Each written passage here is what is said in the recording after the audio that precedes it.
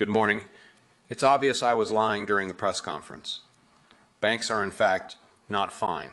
I just have to make them cheaper next time for my dear friend, Jamie Dimon. These regional banks were too addicted to sucking on my money printer. More than 100 banks died in 2008. We've only had like three so far. We still have a long way to go. Fuck your puts. Fuck your calls. Jay Powell has you by the balls. God bless my money printer. GM to all the FOMC survivors. In this video, we're breaking down did Jerome Powell just lie to everybody about the banks, stating they're all pretty safe right now, stiff upper lip? So is this more fuel to the fire for Bitcoin as a result? We're going to jump into this in the video. Make sure you get the GMs rolling down in the comment section and let's jump in.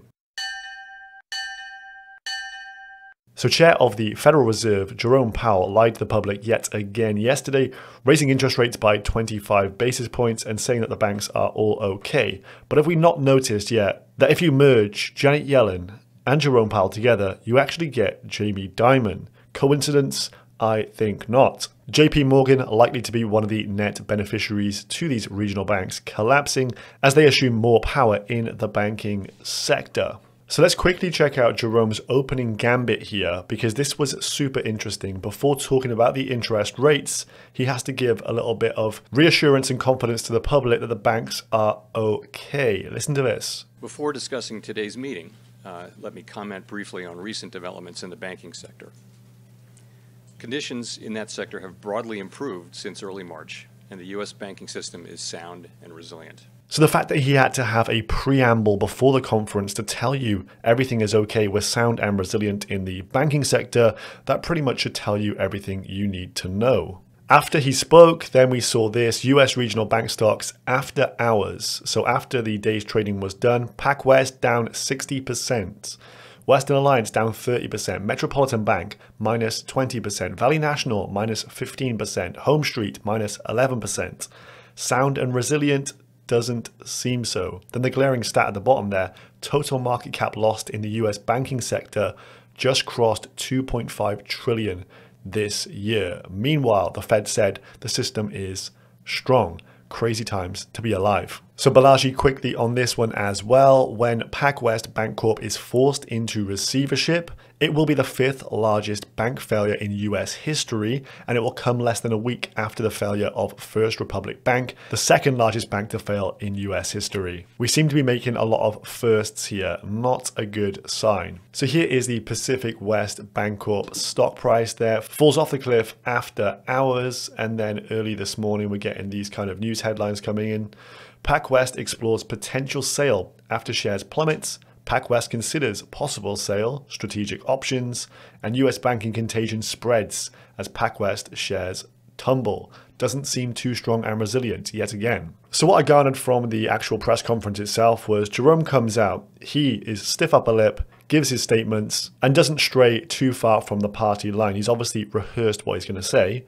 And then you have the press members getting to ask their questions all of them ask pretty much the same questions, but with slightly different wording, and he regurgitates the same answers. So it was pretty much a nothing burger yesterday, but the fact we have banks collapsing in terms of their stock prices after his speech, due to the fact he just raised rates by another 25 basis points, and this is what is putting all that pressure on these regional banks, well, the market is starting to call bullshit here. So this is what the market is pricing in for the next Fed meeting. He did talk about the potentiality of a pause. He didn't state the word pause, but more we've removed some of the wording from our forward guidance around increasing rates further down the line. So essentially, we're starting to see like the first cracks in what will be a Fed pivot, but the market is now pricing in a 94% chance that the Fed does no longer hike. Skipping forward to July, then this would also be a pause. So pause in June, continued pause in July, but a 44% chance of a rate cut in July. So coming back to the rates that we just saw the month previous. So there seems to be a bit of misalignment between what the market thinks and what Jerome is stating here. Now the most bullish chart out there is gold. Unfortunately not BTC but actual gold. So if we just break down this monthly chart on gold, this has now breached a new all-time high today. It was printing 2080s for an ounce of gold earlier.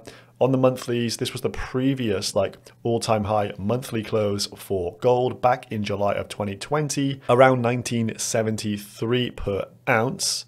We did then at the end of April here print a new high, and then we're obviously just four days into May, so not too much data yet. But the fact we came down, back tested this previous high as support, and now have started to go up yet again and actually tick a new all time high today suggest we could see some bullish continuation. This is one heck of a bullish chart and the kind of chart that if I was looking at this as an altcoin perspective, I'll be looking to buy this breakout. So the bank's failing after hours. So talk now on to what the heck happens next. So Anson posted this.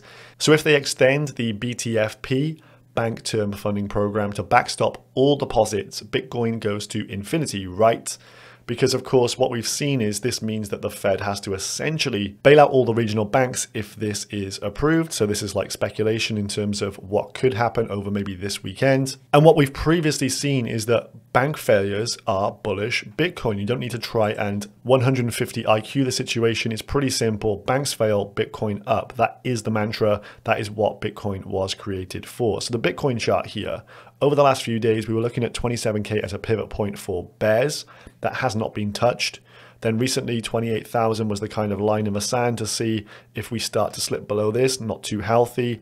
Yesterday, a few wicks to the downside around 28.2 as Chair Jay Powell was speaking, but now above 29,000 bucks with gold at all-time high territory. So banks fail, Bitcoin up, Let's see if this does continue here. I would like to see Bitcoin really start to push up here into the 30Ks. And then of course, 31,035 is the top tick so far of this 2023 rally. The DXY is looking pretty weak. Gold up, Bitcoin up. Let's see if this does progress. But I am feeling fairly confident that we do have the right catalysts here and the right narrative for Bitcoin for some continuation. So I thought this one was quite interesting. You're waiting for Jerome Powell to tell you the monetary policy decisions of the Fed, what's going to happen in the US. The whole world depends on this. And then you have the alternate financial system of Bitcoin, where all the halvings, the issuance of Bitcoin are already programmed in. Next block halving 2024 around March, April. Apparently, if we just look at NiceHash here, we're less than 365 days away. It's programmed in. We have assurance that this will take place. Whereas we don't know what the erratic decisions of the Fed may be for the true financial system, but this, the alternative, is giving us a lot more clarity here. So, mantra of the day wear orange, buy some BTC. So a quick update here on the cheeky sector that is pulling a lot of liquidity in, which is of course the meme coins. Yet again, we're seeing Pepe look like it was potentially dead and buried yesterday. A lot of people saying top was in, but it bounces back yet again. So this is super interesting, just following along. I bought a little bit of Pepe. I did buy the dip last night. I've also got a few other horses in the race, but don't really want to talk about those because, you know, things could be rug pulls in this sector and it is just gambling Wild West stuff. But Pepe is now a half a billion dollar market cap coin. So I do think this one will actually stay the course and be around. The meme makes sense in terms of internet culture. And if we just look at the Shiba Inu chart here, are we due one final big blow off leg here for Pepe? Now, this is really interesting because we kind of had this already take place over the last couple of weeks, and we're now starting to chop sideways and consolidate. But could we have the one last hurrah in which you will cash in? Well, you should do. Well, in my mind, you should be thinking like that. If we do get this final big pump, it is time to really take the chips off the table at that point. When you look at the SHIB chart here and you look at the dates, they also align quite nicely. So not only does some of these numbers kind of work out in terms of what Pepe Coin has done so far, but also this, the final blowout here in May of 2021. Could this happen in 2023 for Pepe following the Shiba Inu chart? I don't know, but it smells a little bit odd. History doesn't repeat, it often rhymes. So this is kind of my thinking on this one. If Pepe does have some big blow off here, I think that is the final leg up on this one for a bit of time. But what we are seeing, which could potentially add more fuel to the fire, is of course it listed on perps on the likes of BitMEX. And this is what happened earlier, liquidated short on Pepe, so they had to buy back a load of tokens, blown out, shorting this to the tune of 40,000 US dollars. And then you look at the funding rates on Pepe as well. Quite funny here. you can see they're currently all highly, highly negative and predicted to go even more negative. So this would mean that the meme of Pepe, its max pain would be to go higher and blow out more shorts. As you blow out the shorts, they have to buy up more Pepe, and this could be that fuel to the fire, as I say, for a final leg up. So definitely watching this one. It's of interest. Not too much else going on, hey. So let's embrace this one for the culture. So make sure you do drop me a GM in the comment section down below. Keep the positive vibes rolling. And if you want to put your Bitcoin predictions, are we going to go up from here or back down? I kind of think banking sector failures are bullish here. That's just my two cents on the scenario. But I'll see you guys in the next one. Peace.